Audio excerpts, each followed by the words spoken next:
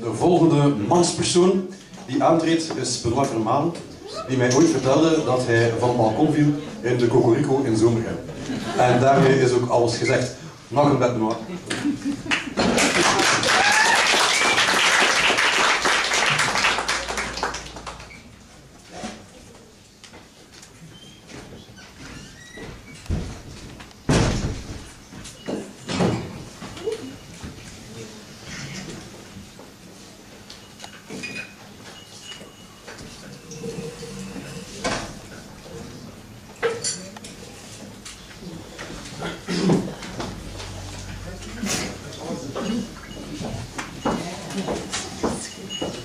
Ben nu 28 dagen nuchter.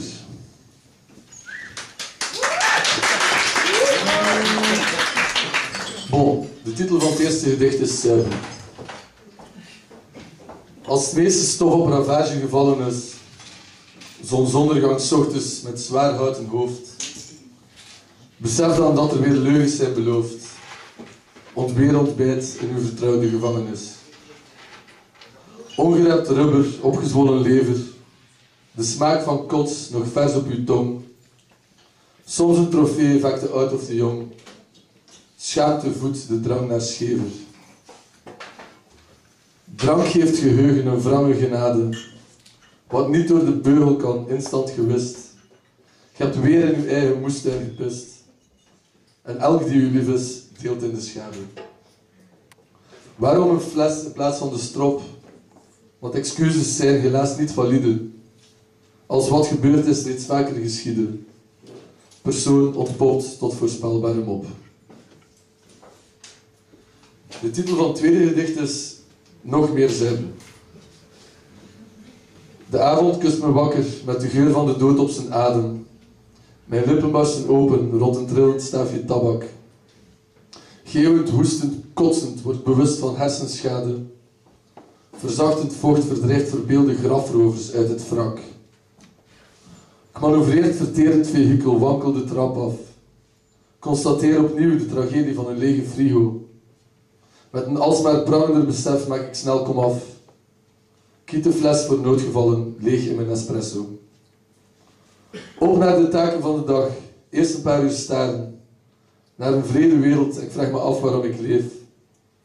Dan als het smeersel die gedachten doet bedaren, komt het smachtend vat pas echt goed op dreef. De rest van het verloop is me compleet onbekend. Genadeloos meegezogen in een groot zwart gat. Ik had gehoopt dat vergeten uitspraken, golden als testament. Het ontwaken dicteert me, wordt snel weer heel zat. Het volgende gedicht heet Bezinken. Ik nam vaak lange warme baden, wazig weken in stomend water. Achteraf versuft ronddwalen, dysfunctioneel tot uren later. Door de dampen vaak verraden, koude douche na onaangenaam. Steeds gevlucht voor frisse stralen, prikkend landend op geest en lichaam. Op de duur begon ik me te verbranden, want het bad werd alsmaar heter. Het spoelen bleef vaak achterwege, al dus forcerend thermometer. Toen baden plots niet meer ontspanden, moest ik naar een nieuwe badkamer. Een met enkel koude regen, en die bleek ineens veel aangenamer. Het volgende heet Nat of Droog. Laat de boel weer overstromen. Smijt al uw brol weer in een put. Bedek het landschap met, met glad glas. Droogte heeft uiteindelijk toch geen nut. Bevrijd uw kop van vrouwen dromen, want gewicht zou u doen zinken. Ontketen opnieuw waanzin in het karkas, dan zal uw uitzicht weer gaan blinken. Onverstoord in het water dobberen, zal u de bodem doen vergeten, waarop het zeewier weer kan bloeien, waarvan u later weer kunt vreten. Onbevreesd het verre donderen, vaart je snel weer weg van haven. En als je moe wordt van het roeien, kunt je dorst met zout water laven. Miljarden zwijgt toch verslaafd brein. Je weet niet dat varen eenzaam is. Nooit zullen we het eens zijn. Eens zijn. De oceaan is een gevangenis. voorlaatste gedicht heet Ongebluste brand. Een opaak vlies schuift over zijn heldere ogen. Rimpels kreuken zijn gezicht opnieuw. Bek barst open, keelrecht uit, gesmoorde kreet. Slagader schudt los tot bloedige kieuw.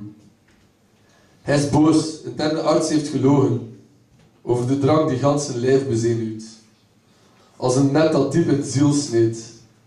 Het brandt alleen meer nu de storm is geluwd. De hemel blijft dreigen, de grond nog steeds zuur.